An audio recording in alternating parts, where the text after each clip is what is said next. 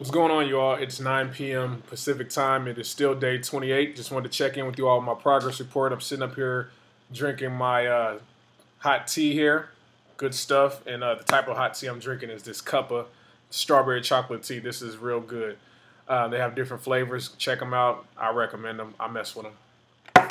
Not to be product placing and all, but let me give you my progress report. Um, I'm down a total of uh, three and a half pounds is my fat loss for week four. It's a little less than I expected, but it's still fat loss, and I'm still down from my week three weigh-in.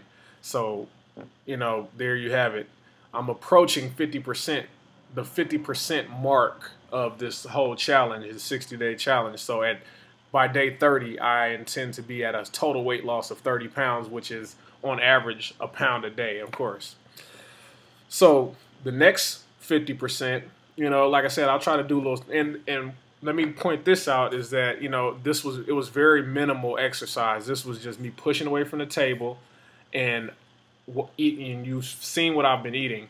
So it's really just, it hasn't been a lot of maximum training and stuff like that. So for the next 50%, like I said, I'll do. I'll be more modest and I'll do more uh, physical activity and cardio in the morning just to maximize what I'm doing already but that's just fat loss from me from diet. You know what I'm saying? And it's been said that oh, you know, part of it is diet. You know, 50% of it or even a higher percent of it is just diet. So I I believe that that's that's what you see right now.